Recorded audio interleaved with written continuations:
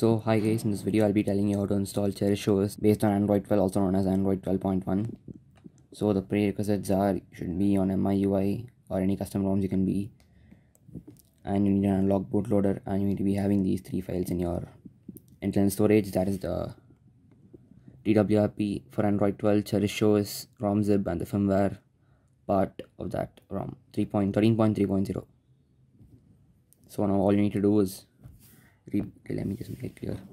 All you need to do is reboot to TWRP by pressing power button, reboot. Keep on pressing your power button so that your phone will reboot to TWRP.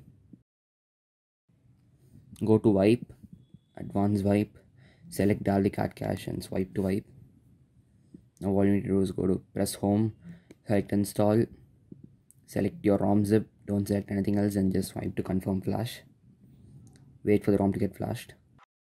So guys, the ROM has flashed successfully. This failed to mount errors can be ignored.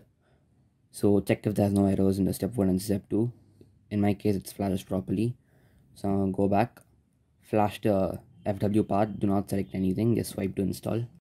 So installation took 5 seconds, failed to mount errors can be ignored again. So go to home, advanced, install recovery RAM disk, select your TWRP file and swipe to install. So these failed to mount errors can be ignored. Go to home, reboot and reboot your phone into recovery. No was installed is just an error, you can just reboot. So here is it, the TWRP is booted.